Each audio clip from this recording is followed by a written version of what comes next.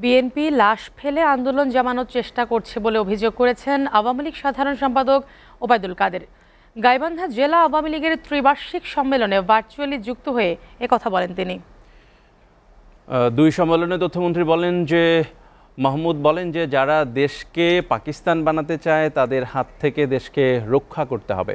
আর পরিকল্পনা মন্ত্রী M A Mannan বলেন, গণতান্ত্রিক, গণতান্ত্রিকভাবে সরকার পরিবর্তনের একমাত্র পথ নির্বাচন।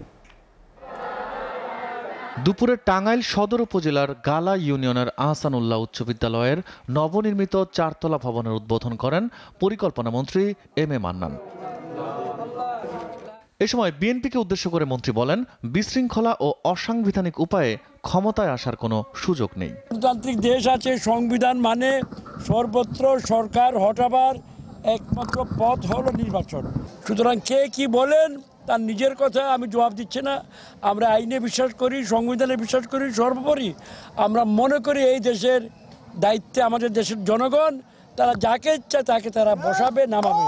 এদিকে গাইবান্ধা জেলা আওয়ামী লীগের ত্রিবার্ষিক সম্মেলনে যোগ দেন আওয়ামী লীগের সাধারণ সম্পাদক ওবায়দুল কাদের সহ কেন্দ্রীয় নেতারা।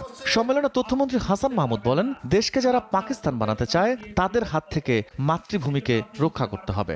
যেখানে পাকিস্তান আমাদের দিকে তাকিয়ে তাকিয়ে হাহুতাশ করে দীর্ঘশ্বাস ফেলে পাকিস্তানে যেখানে জননেত্রী শেখ হাসিনার নেতৃত্বের প্রশংসা হয় সেখানে মির্জা ফখরুল ইসলাম আলমগীর সাহেব বলে পাকিস্তানে ভালো ছিল। দেশটাকে যারা পাকিস্তান বানাতে চায় তাদের হাত থেকে দেশটাকে রক্ষা করতে হবে। এতে ভার্চুয়ালি যুক্ত হয়ে দলের সাধারণ সম্পাদক ওবায়দুল কাদের বলেন আন্দোলন জমাতে হত্যার রাজনীতিতে মেতে উঠেছে বিএনপি। নতুন কৌশল নিয়েছে। তারা লাশ পেলে আন্দোলন জমাতে চায়। লাশ পেলে আন্দোলন জমানোর অশুভ খেলায় বিএনপি মেতে উঠেছে।